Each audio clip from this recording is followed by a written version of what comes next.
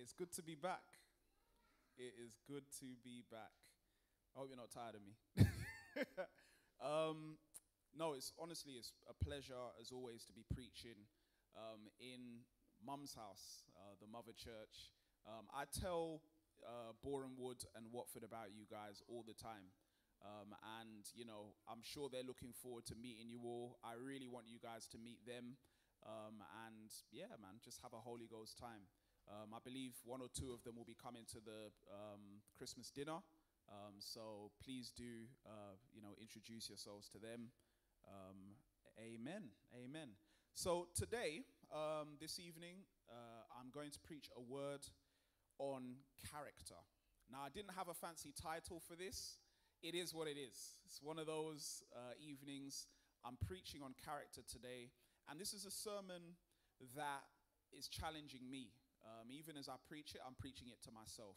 So I hope you'll be attentive um, as I minister a word. Uh, if you've got your Bibles, please turn to uh, 1 Samuel 16, uh, verse 5 to 13. Uh, the scripture should be up on the screens, but if you've got your Bibles, how many know it's good to have a physical Bible? Amen? Come to church, physical Bible. But if you don't have it, it will be up there for you.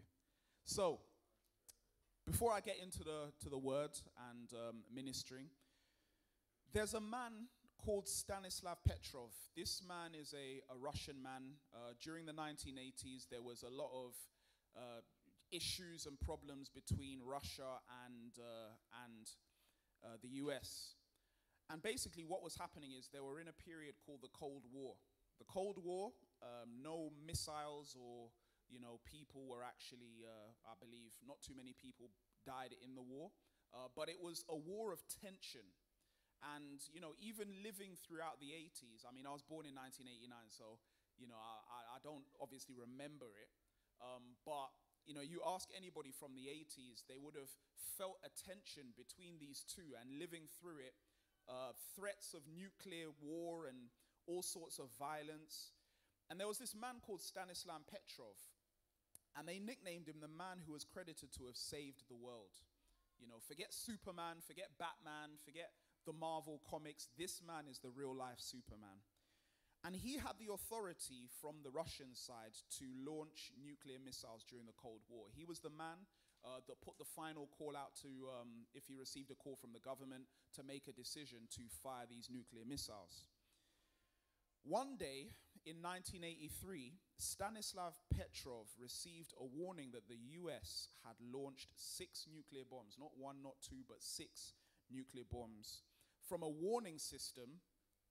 And you imagine he's in a control room, he had moments to respond.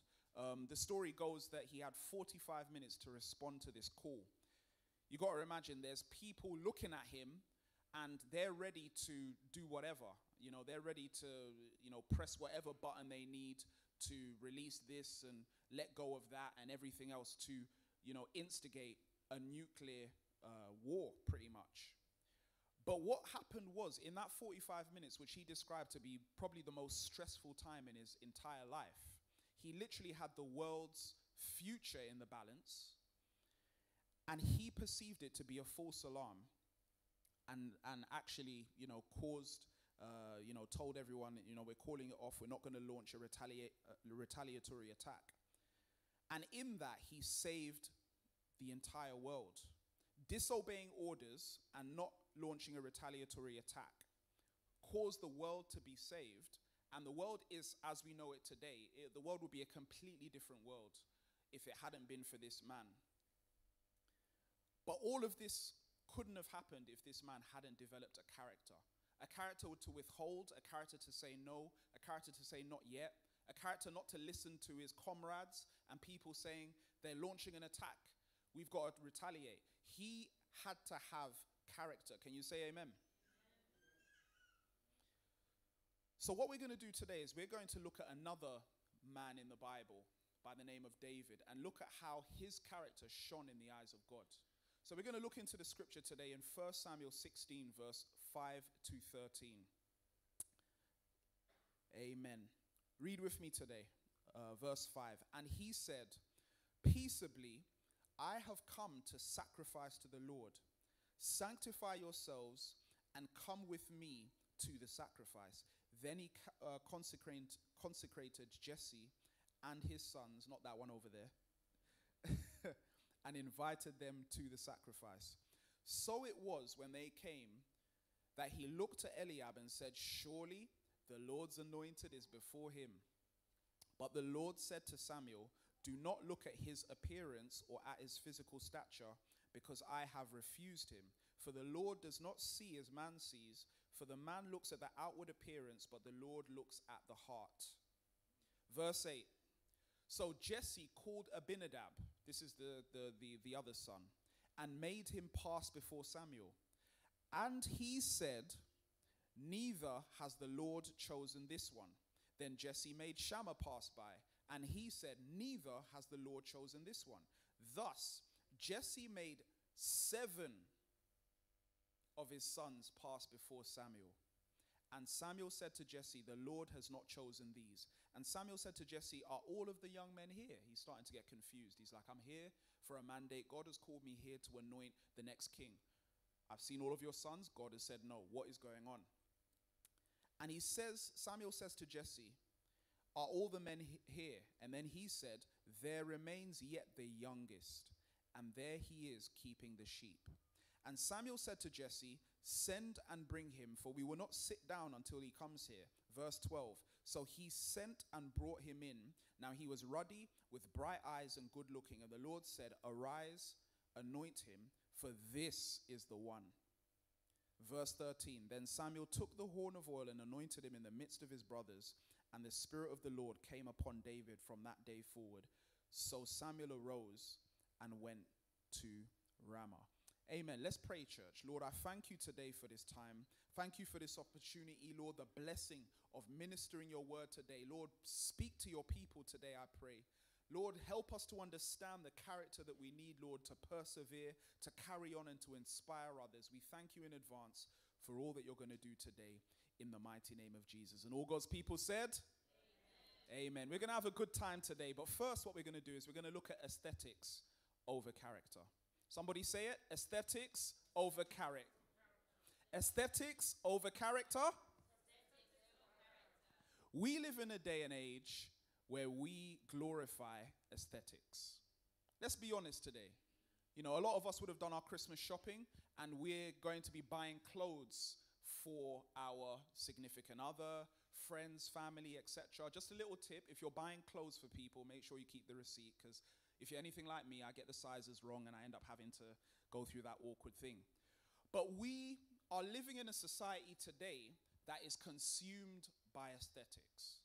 Let me give you a quick example. There's a man named Jeremy Mix, uh, Meeks, and in 2014, this gentleman, Jeremy Meeks, aka Prison Bae, went viral. Now, Kapil, I'm gonna ask you to put the um, picture up. Who remembers this gentleman here? Yeah? Yeah, I see a couple ladies smiling. Yes, yes, it is him. Stay in the spirit. Stay in the spirit. I'm joking. Amen. This is Prison Bae. Now, Prison Bae is a, uh, a former Crip uh, gang member. So he was raised in uh, Stockton, uh, Los Angeles. Um, he was actually uh, arrested in 2014 during a gang sweep um, in Stockton, LA. And what happened was he was convicted on federal charges. So this is, these are serious charges of possession of a firearm and grand theft. And what happened was, while this man was in prison, the police took a mugshot of him and put it on Facebook. I don't know why the police would do that, but they put his mugshot on Facebook. And from that day forward, he was known as Prison Bae, okay? AKA the world's hottest criminal. I mean, this is their words, you know. Take, take, take from it what you will.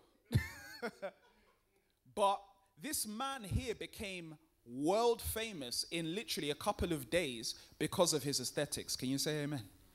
This is a man who was a thief. This is a man who was a violent man. This is a man who was carrying guns and firearms and a violent man. But it seemed, for, for all intents and purposes, like the world didn't care.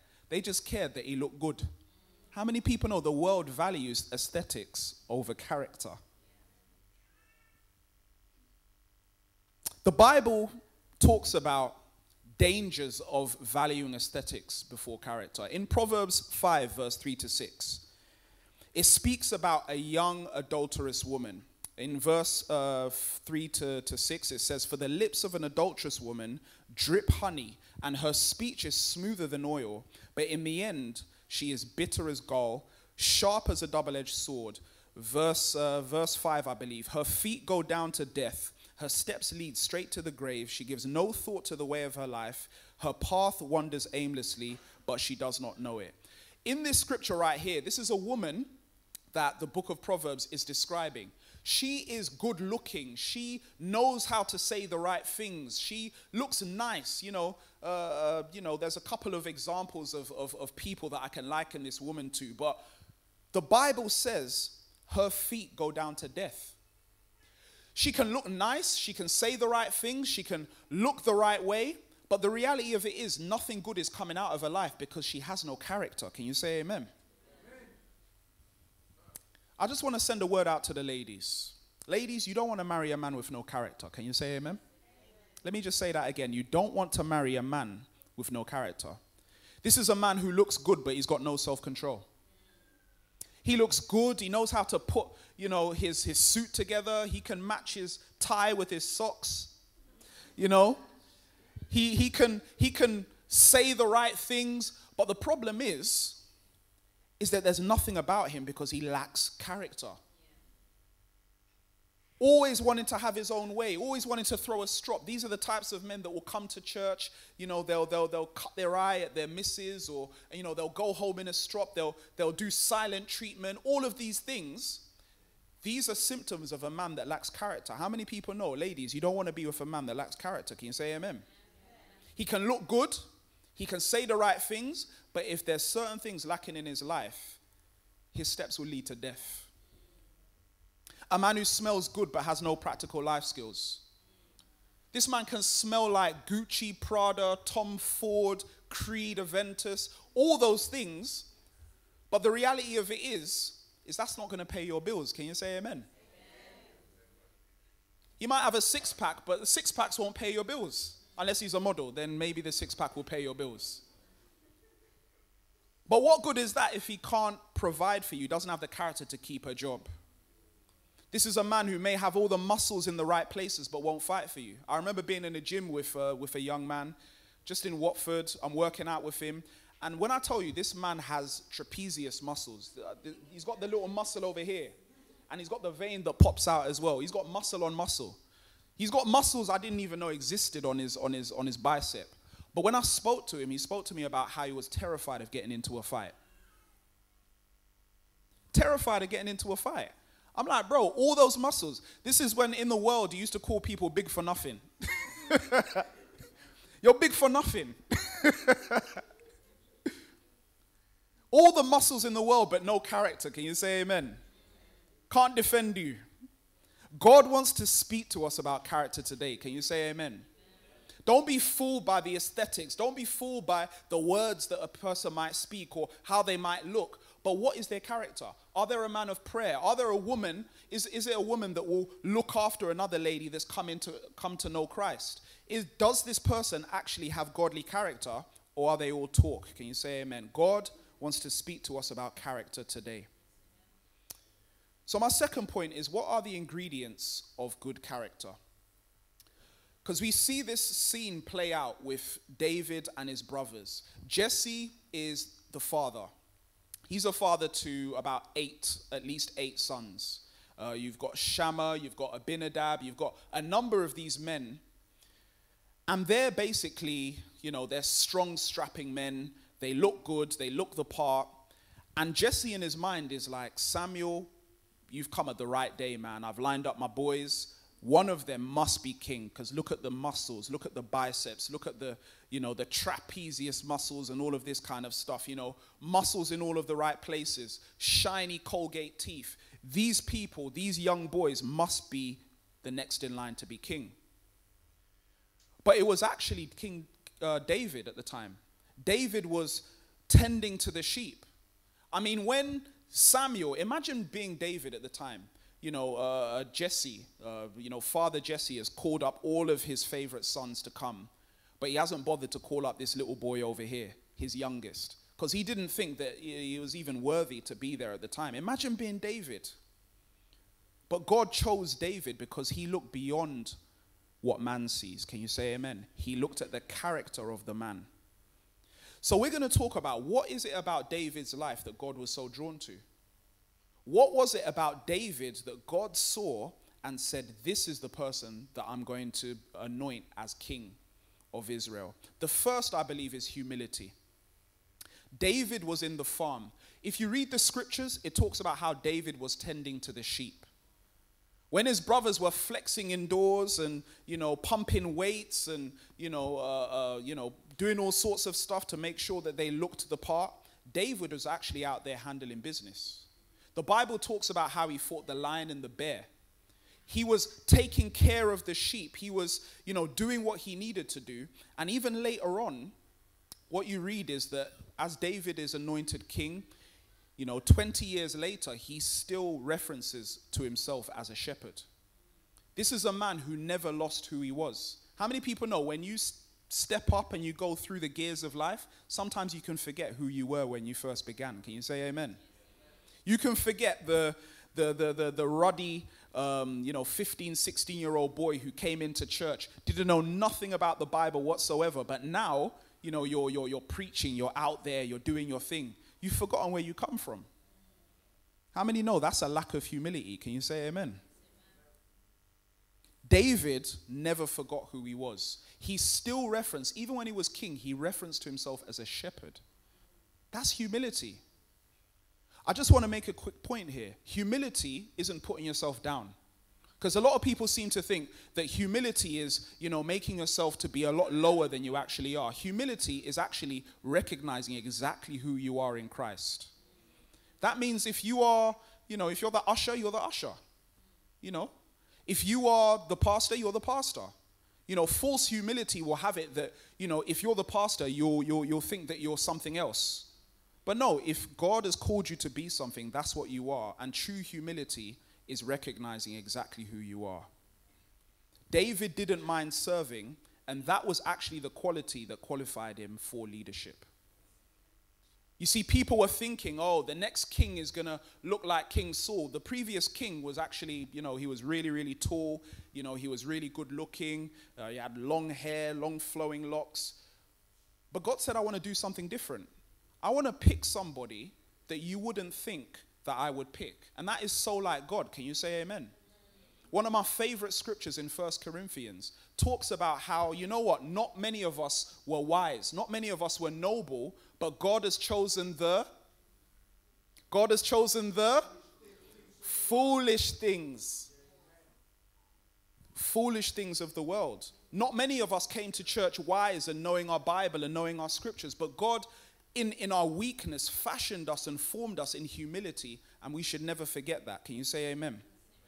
The second ingredient that I believe that we need is uh, processing afflictions.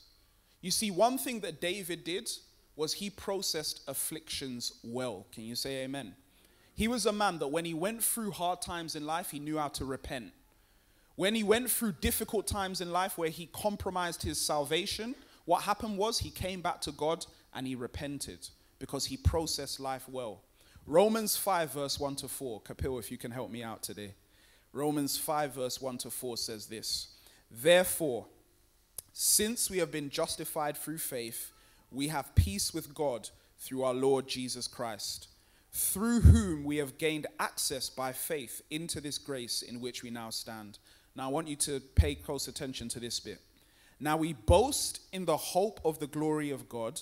Not only so, but we also glory in our sufferings because we know that suffering produces perseverance. Perseverance, character. And character, hope. My question to you today is this How do you see your problems? Do you see your problems as a hindrance? You know, you, you, you are on your way to church and you get a flat tire. You know, you were, you know, faithfully doing your thing and, and, and following Christ, but a family tragedy happens. How do you see the problems in your life? Because sometimes your problems are there to build your character. Can you say amen? Not all problems are issues and from the devil. Sometimes God sends you some challenges to build your character. But if you're always looking at your challenges in life like, oh, get behind me, Satan, you may never learn anything from it. Because perseverance, suffering produces perseverance, perseverance, character, and character, hope. The third ingredient is, is actually perseverance. One thing that we can tell from David's life is, is he actually pressed through. When he was going through problems and issues in life, when King Saul wanted to kill him, David pressed through. The Bible actually talks about how Saul wanted to kill David, and David had a chance to get his revenge, but he chose not to. The reason why is because he didn't act out of anger. Why? Because he had character. Can you say amen? Now, um, now Keith uh, Machunga can probably um, clarify this, but in Gloucester, Gloucestershire, Gloucestershire, Gloucestershire, did I get it right? In Gloucestershire, they have this annual festival called cheese rolling. Now, you can look it up afterwards. It's the funniest thing ever. So, this cheese rolling thing, what happens is, is they roll this big cheese down a hill. Like, there's this massive hill in Gloucestershire, and they roll this cheese down a hill, and then, like, maybe like a hundred people run after this, this cheese down a hill. It's the one of the dumbest things I've ever seen in my life. but, but listen, but listen, when people are rolling down this hill, what invariably happens is one person trips up, falls over, and then it's like a chain reaction. Everyone else trips up over everybody else. People actually travel to do this. It's, it's a madness. When you get chance, YouTube cheese rolling, you won't be disappointed. They roll down the hill and they roll down with this cheese, right? This massive cheese. Real true stories. And and as they're rolling down this hill, they fall over. But the most incredible thing about it is, is they get back up and they continue running after this cheese. They fall over and they get back up. They fall down and they get back up until they reach the end of the hill, and then one man lifts up the cheese and everyone gives him a round of applause. Do you know what that tells me? There are times in life where you're going to tumble, where you're going to fall. But how many people know as soon as you fall, you get back up? You fall, you get back up. You fall and you get back up. Why? Because as you persevere, it produces character. Can you say amen? As you persevere in this in this crazy Christian life that we live in where it feels as though the minute we got saved, things got harder instead of easier.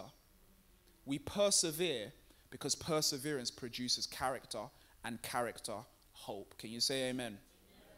Third point today why do we need character anyway? as I mentioned before, character produces hope. And um, you may be going through things in your life and you're thinking to yourself, why are you sending me through this trial, Lord? You know, I've got illnesses in my body that I've had pastors and evangelists and various people pray for, and I don't seem to be getting healed. Lord, I'm going through barrenness, not just in my in, in my in my spiritual life, but you know, maybe you're a, you're a, you're a couple and you're trying for a child and things aren't working out, etc. You're going through problems in your life and issues, and you're wondering, what is the meaning of this? God, why would you put me through this? I'm serving you. I'm doing the right thing. I'm going to morning prayer. I'm coming to midweek uh, service. I'm coming even to Sunday evening service. I'm waking up in the morning praying. Why are you taking me through this? I want to tell you today that when you go through things in your life, you're going through them sometimes so that other people can reference off of you when you overcome when you overcome these issues, you know, when you overcome barrenness, when you overcome illness and you're healed in Jesus' name, you can turn around and say, This happened because I persevered. And through me getting this miracle, it's produced hope in somebody else. Because character produces hope. Can you say amen? There was a survey that runs um, a large sample so basically, um, they, they process a large sample of millionaires. And what happens is, is that they, they look at the attributes of some of these millionaires, you know, to try and figure out what was their big secret. What caused these people to become successful in life? What caused these people to make the, the amount of money that they made? And can I tell you, it wasn't the school that they went to. A lot of people think I'm going to send my child to private school. It doesn't mean they're going to become a millionaire. I'm just putting it out there. I went to private school, that's why I can say that. Not a millionaire. it wasn't that they were tall, it wasn't the school that they went to, and it wasn't how much their family made and were worth. Do you know what the deciding factor was? It was a character trait called grit. Grit. That when things weren't going well, when they had started a business and things weren't, you know, happening in the way that they, they thought it was, they stuck it through and then they grinded their way through life and eventually saw the victory. Why? Because they had character in their life. Can you say amen? They had a grit. And I want to say that if you want to reach the, the, the true riches of the kingdom of God, you're going to need to have a bit of grit in your life. You know, rain can't stop you coming to church. Can you say amen? amen. Rain can't stop you coming to, to, to, to, Bible study and, and outreach. You see a little bit of snow. You know, we had crazy weather over the past couple of weeks. Minus one. I, I can't tell you the last time I saw minus two and minus one. Crazy. But you know what? Some of us still hit the streets and share the gospel with people. Why? Because we have character. Can you say amen? And character produces hope. Do you know what else character produces? Character produces confidence. You know, your, your pastor, Pastor Jimmy, I'm sure Pastor Jimmy has, has, has visions of people rising up in church and doing something incredible for God. But it's just that the way that sometimes we live for God doesn't produce much confidence in Him making that decision to put us into a certain ministry. Are you hearing what I'm saying this evening? He could be looking at someone and saying, I've, I've, this, That man's got so much potential. That man's got so, he can sing like Kirk Franklin or whoever. You know, he can, he can rap like Lecrae or whatever, but he won't come to church on time. You know, he can do all of the things that, you know, he's got gifting, he's got talent, he's blessed. But the issue is, is I can't count on him. I don't have any confidence in him because he doesn't have the character. You see, God wants to bless us. He wants to put us in certain places, but He won't put us in certain places if we don't have the character in order to carry us and to keep us going and to persevere through that period of time. Character should produce confidence. By the time David went to the throne, people knew that he could be trusted. Why? Because he had character. When David went to fight Goliath, you know, people looked at him like, who's this young boy? You know, if, you know, the people were Nigerian at the time, they would have said, who's this small boy? Small boy. Who's this young boy coming here to try and face this big Goliath beast of a man? But what they didn't realize is David had slain the lion, he had slain the bear, and he would make Goliath, this uncircumcised Philistine, like one of these. And that's exactly what he did. By the time he got to the throne, people were like, listen, man, that boy, he can lead us because he's been through some things. He's got some character. Can you say amen? If you want to be a man of God, if you want to be a woman of God, you have to have character. You have to have gone through things and come out the other way with a testimony. Can you say amen? Don't give up, but just keep going. In closing, I want to speak to you about a, um, a young man. Uh, his name was Maurice Wilson. And Maurice Wilson, I think it was around like the 1920s, um, he was hell bent on climbing Mount Everest. There was this thing where, you know, very few people had climbed Mount Everest, and he was like, I'm going to be one of the first people to do it. The problem is, is this man didn't train. He didn't train, he didn't go to the gym, he didn't do his oxygen training or whatever you call it, or whatever they had in the 1920s. But what happened was, against all wise judgment, he smuggled himself onto this mountain. So all his friends told him, Don't do it, man. Maurice, you're not ready. You're not ready, bro. And he was like, Forget you guys, man. I'm going to climb Mount Everest. I'm going to be world famous. This man smuggled himself onto the mountain and then asked two locals to accompany him. These locals, these are professional climbers, okay? So these guys have been up and down the mountain a couple of times. But even when they saw him, they said, Even with our help, you're not going to get far. So they abandoned him. Maurice against their judgment, said, I'm going to climb Mount Everest anyway. I'm going to be the first man to do it, even without these guys. Do you know what happened to poor Maurice? Maurice died on that mountain. He died on that mountain, and the report came back saying that they don't know what killed him. But I can reveal to you what killed Maurice stupidity and pride. can you say amen? Stupidity and pride, feeling as though he could take a task when he didn't have the character to take it through. If we're going to be people of God today that are able to stand, you know, how many people know we're living in an evil age at the moment? So much madness going on. People are coming to Christ. Yes, we know, and we have the victory. But there's madness going on, and we're going to need to be increasingly, as the time comes, that we're going to need to be people of character that can hold ourselves, that can say, "No, we're not going to do this. No, we're not going to be involved in that. No, my child's not going to be involved in that. Why? Because I'm a person of character. Can you say amen? Pastor Jimmy is, is possibly like, you know, he's a big inspiration for me. The reason why is because when he took over this church, a lot of kind of confusion and a lot of things kind of happening. But when he took over the church, I believe it was about three, three and a half years ago. Correct me if I'm wrong. But he took over the church, and his, I believe, his great, his granddaughter, uh, great granddaughter, um, or his, his daughter had a miscarriage. Soon as he took over the church, his daughter had a miscarriage. Now, it's, it's mad enough taking over a church in the situation that we were in. We were without a building and various other things were happening. But Pastor Jimmy decided to take on the church anyway, even with that on his, on his back. Not long after that, couple months after that, his mother passed away. Mum passed away. And that would have been enough for people just to say, you know what, I'm checking out of this. I don't want to be involved in this. You know, this is too much. Madness is going on. The devil was attacking him aggressively. And I could see it just looking at him as a disciple. I'm like, wow, this is, this is taking its toll. What are you going to do? But he pressed on. His wife, Eula, became sick. And he continued to outreach. He continued to do what he was called to do. Can you say amen? Because when God gives you a vision and a dream, you pursue it and you persevere. And he went on and on until, unfortunately, Sister Eula, uh, she passed away. And on that Sunday, one of the most inspiring things that I saw was on that Sunday he preached. Do you know how hard that is? madness, craziness is going on. The devil is wreaking havoc in your family. People are dying left, right, and center. You know, I, I, think even his, his cousin passed away as well, not long after that. But he's still pressing on and he's still doing what he needs to do. Why? Because he's a man of character. Can you say amen? He's a man of character.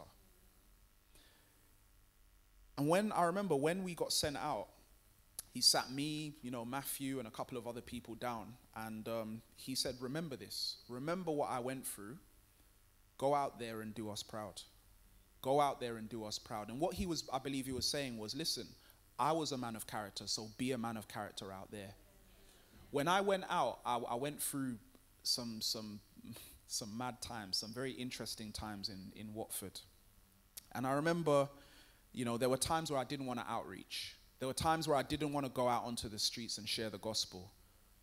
And, you know, I know, you know, you get sent out and, you know, you've got all this momentum and everything, but, you know, things aren't going right, things aren't happening, disciples ain't getting it, all of this stuff. And you're on outreach, or you're about to go outreach, and your bed is calling you.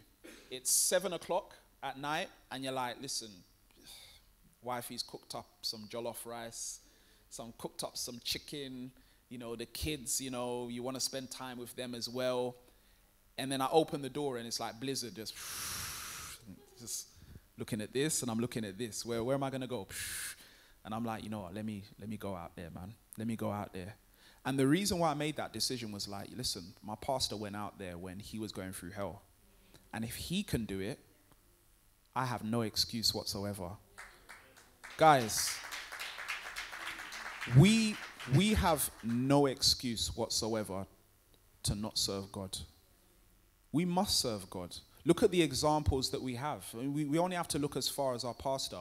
You know, some of the, the, the, the great men here, you know, there's certain people that have been through wars over the years to see you have what we have today. We're sitting on these lovely plush chairs, but these, these plush chairs, they were, they were bought with a price. And I'm not just talking about money, you know, just spiritual warfare, fighting, contending, building won, building lost, this happening, all of this craziness happening, stuff that you are not even aware of to have what we have today. And we're literally on the shoulders of giants. Why? Because people had character. How much more you today? Is that you? When pastor gives a call for outreach, are you the type of person to say, you know what, I don't care if it's minus five degrees out there, I'm going to go out there and share my faith with somebody? Maybe there's someone out there that got kicked out of their mum's house and needs the gospel. I'm going to go out there and be the person that I need to be for that person. Or are you the type of person to say, you know what, I can talk the talk, but I can't walk the walk, I'd rather stay at home. Which one are you today? Let's be people of character, church. Can you say amen? Amen. Let's give God a clap of praise as we bow our heads today. Amen. No fancy title today. Honestly, I didn't get round to thinking of one. But I literally just named this sermon character. Character.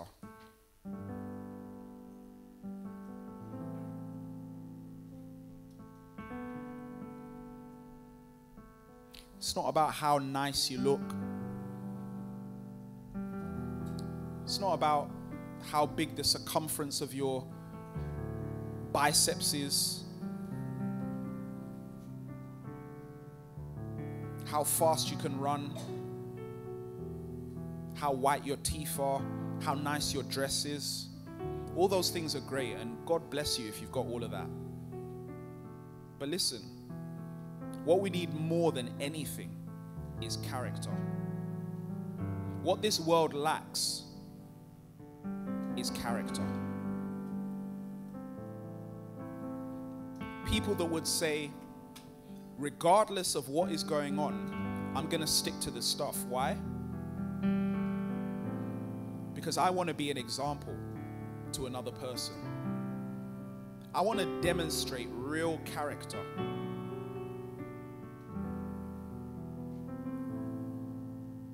There are going to be times over the next couple of months, even years, where your character is going to be tested. Where you're going to be left to make a decision. Are you going to go left or are you going to go right? But as you make that decision, just remember that your decision will bear consequences, not just on yourself, but others. I believe when the scripture talked about how suffering produces perseverance, and perseverance, character, and character, hope, what the scripture was saying was that our decisions don't just affect us. But when this character is produced in our life, we emanate and we radiate hope to others. When we go through hard times in life and we come out the other end with Jesus, that signals to other people that they can make it in Christ. That they don't have to give up at the first hurdle. That they don't go, have to go back to their drugs or go back to their crystals or go back to their juj or yoga or meditation. Because Jesus has power. Jesus has dominion. And they'll know that because they can look at your life and say, they went through it with Jesus and they got through the other end. Church, let's be a people of character. Just changing the order of the call today. Maybe you're in this place, you're not saved, you're not born again. Let me make this simpler. You're not on your way to heaven. You don't have a relationship with God. If you were to die today, if God forbid you were to leave this church without Christ, and the 182 bus was to slam into you and you were to breathe your last, the moment you open your eyes, it wouldn't be good news for you. You're in that place today. You don't have a relationship with God the way that you should. You know that there are things in your life that are stopping you from, from, from even entering into a relationship, let alone having a better one. But you want to make things right with God today. And you're here today and you're saying, Preacher, I want to make things right. I've been talking the talk. I've been saying amen, hallelujah. I've been, you know, copying and pasting scriptures on my on my Instagram and my WhatsApp status, but I don't have Jesus. But I want to make things right today. I can tell you today, good news is that you can. And with an uplifted hand, signifying it with an uplifted hand, you can say, Lord, I don't know you as I should, but I want to make things right with you today. Not born again, not saved in this place, but you want to make things right with Jesus. Just put signify that with an upraised hand. Just put your hand up and put your hand down. Left to right, up and down in this place. You're not born again.